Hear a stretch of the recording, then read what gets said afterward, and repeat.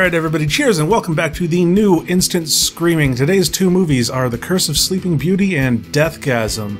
Both have been available on Netflix for a while. So let's start off with the, uh, the weaker of the two, The Curse of Sleeping Beauty. So this movie is a uh, dark fantasy twist on the original Sleeping Beauty. A guy inherits his family's apparently cursed property and has unsettling nightmares. He has to have adventures and learn about crazy dark magic and his family's connection to it. I'm going to go on record now that this isn't a good movie. The plot is pretty boring and predictable. The story is a basic dark fairy tale that seems to arbitrarily move from beat to beat without really properly connecting them. Like, stuff just sort of seems to happen because that's what the script said. The whole thing is a bit long and seems to be missing a third act entirely, probably because it's an obvious uh, attempt to set up a series, which ultimately leads to somewhat mild dissatisfaction with the whole endeavor.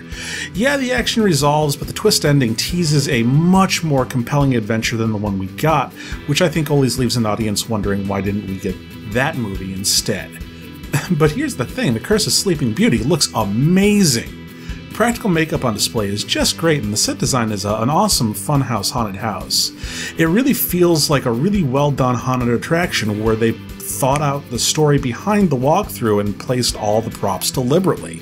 And what's more is the designs and all the creatures are consistent. They follow a theme that actually makes sense and is motivated in universe. So there's actually a reason for all the old creepy shit around in the background, rather than it just being there because it's creepy. Deathgasm is a lot of fun. Normally, I try to reserve my judgments for after the synopsis, but this is a deliberately silly bitch tongue in cheek movie.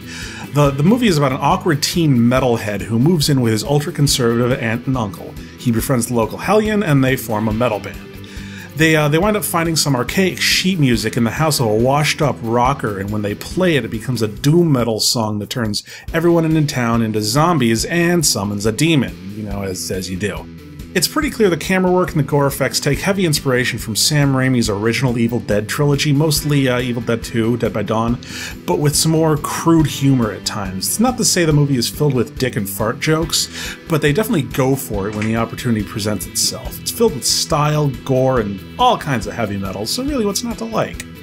My only real complaints is that some of the plots seem a bit unneeded and distract from the fun parts of the action, and the metal doesn't always match up. It seems like the characters have very singular tastes, but their band's music is wildly varied.